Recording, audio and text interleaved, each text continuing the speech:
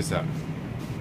The donuts, they're so tasty, they couldn't even afford to make them visible as well. Because there's some really tasty donuts. And look, they're only three for two dollars.